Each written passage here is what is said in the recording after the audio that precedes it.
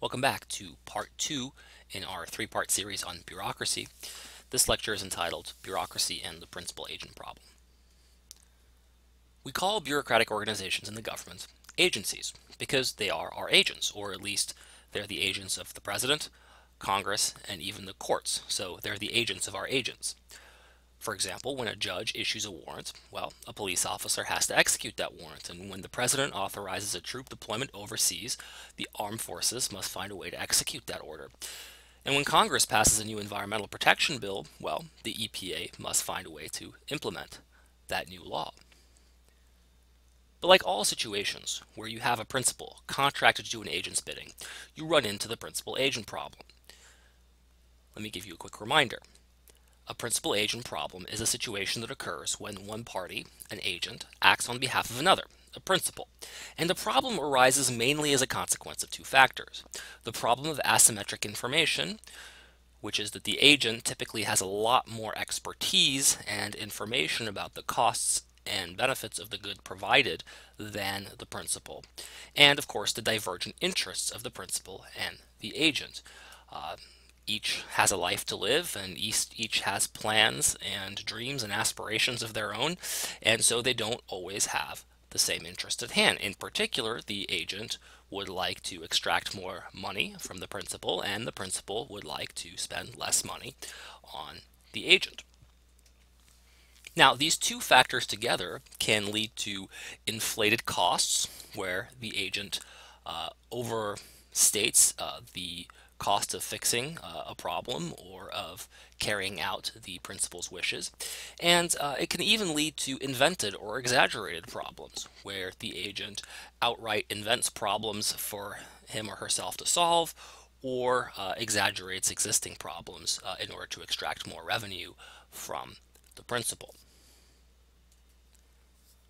Now, the principal agent problem in bureaucracy is often worse than the one that occurs uh, routinely in the private sector. If you don't like your car mechanic after all, you can fire him. But if you don't like the behavior of a local FBI agent, what are you going to do? You going to send a strongly worded letter to your congressman? Uh, are you going to send a find uh, his or her superior in the field? And why are they going to listen to you? Right? So there's a very direct relationship between uh, your ability to discipline uh, someone that you're interacting with in a market, you just don't trade with them anymore and they lose your business. But when it comes to government uh, and bureaucrats, uh, they don't lose your share of tax revenue when they uh, don't serve you well. And so as a result, the uh, accountability is, or the chain of accountability isn't quite as strong. But actually, it's a little bit worse than that. In a market, after all, it's usually fairly easy to know if you paid too much or you got a good deal. The prices are determined by the market and the prices are public information. In fact, businesses can't wait to tell you what their prices are because they are trying to lure you uh, to, to their business. Moreover, the quality of the service provided is usually relatively easy to measure. Um, in effect, because businesses compete, you can be relatively confident that the price quality ratio of the good or service that you are buying is uh, almost as good as it can be. I mean, if it could be better, someone would make money by making it better. This is what we call innovation. And of course, markets are pretty good at innovating because there's a lot of money in innovation. If you can successfully innovate, then you can capture a larger market share which presumably makes customers happy and makes them gravitate towards buying your products and services. This is all to the good. But in a bureaucracy, it's not always easy to know what counts as a good deal. How does the public measure the quality of an environmental inspector, for example? Or how does the public decide that the environmental inspector is overpaid or underpaid? How would it know? How does the public decide that a system of private environmental certification would be better or worse than a system where the EPA employs its own inspectors in-house? Because no one is really sure as to what counts as a good deal, bureaucrats don't necessarily always have a great incentive to work harder for constituents. And so in bureaucracies, typically, you don't get a lot of innovation. And one example uh, and this is an example that's often mentioned, is the contrast between uh, education at the high school level in the United States and education at the college level of the United States. Now, uh, first, it's worth noting that the United States has pretty average high schools for a rich country, uh, and the United States has one of the top systems of higher education, right? The Harvards and Yales and Stanfords in the US are schools that everybody in the world wants to go to, whereas our local public schools are not the schools that everybody in the world is trying to get into. Uh, what is the difference between the higher education market and uh, the uh, high school education? Well, the difference is that one of them is a market. Uh, schools have to, at some level, compete for students, and as a result, they have to offer very attractive mixes of uh, services and education for their students, or else they'll see their students go to other schools.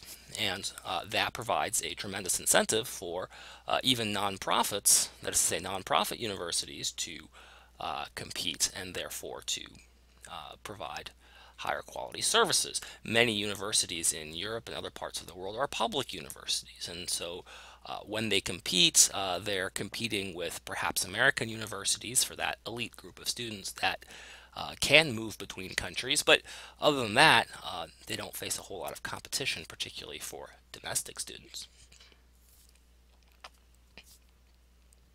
But it's not just the quality of the good that's hard to ascertain. It's not just a problem of innovation, but it's also even when the quality of the work relative to its cost can be ascertained, they may well be problems disciplining bureaucratic agents, right? We said that it might be difficult to get your local FBI agent fired, and that might be true even if it were fairly easy to contact his or her boss. Sometimes job security is part of the compensation package. Uh, this can come in the form of public sector unions, which protect the jobs of their members.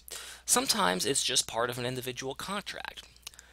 The uh, United States government likes to save money, and one of the ways it can save money is uh, by offering job security uh, in exchange for lower salaries. It, it can attract a relatively higher level of talent by not by offering it more money than the private sector can offer them, but by offering them tenure and long-term job security. Now, um, it can do this uh, in part because it can rely on a much more stable source of revenue, that is to say, taxes.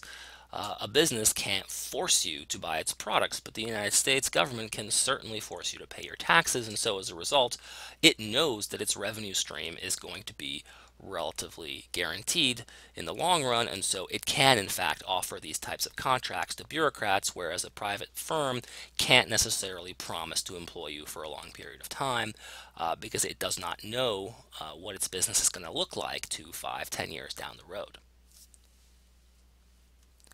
So, we said that job security is sometimes part of the compensation package. It's also the case that sometimes firing or demoting a bureaucrat means upsetting a powerful politician. Some bureaucrats are appointed because of their political connections, not because they have uh, strong expertise in the fields uh, in question. Uh, so, for instance, um, I remember that uh, Richard Nixon uh, appointed a Secretary of State who was a lawyer who wasn't particularly an expert on foreign affairs, um, but he was a loyal supporter and he already had uh, Henry Kissinger as his national national security advisor, but for political reasons he couldn't appoint Kissinger as Secretary of State. So, you know, the top um, the top official in the State Department turned out not to be an expert, but a political appointee. Another reason why it's difficult to discipline bureaucrats sometimes is that bureaucracies will rally around their own. This is particularly true when public sector workers are unionized, but not only. Um, and this is true especially if they feel that their principals don't understand the value of their work. Uh, complaints will often be routinely ignored because it's perceived that those complaints arise from misinformation. The public or the overseers don't understand uh, either the nature of the service being provided or what it is exactly that they're doing, and so as a result, they close ranks around even bad apples among them uh, because they assume that criticism is simply born out of ignorance rather than being justified. And um, that can make it very, very difficult uh, to uh, have any kind of, of meaningful reform. Now, the principal agent dilemma in a bureaucracy inside the federal government makes three problems faced by all principals when dealing with agents worse. These three problems are the cost of measuring agents' performance, we call these measurement costs, the cost of monitoring agents, um, that is to say figuring out whether they're breaking the rules, these are monitoring costs, and the cost of disciplining agents, and this, these are called enforcement costs, right? So in each case, the cost seems to be higher in the public sector than it would be in the private sector. This means that the overall cost of providing goods through the bureaucracy is necessarily going to be higher. This is why we don't want the government ultimately nationalizing food production um, and having the Department of Agriculture produce all of our food.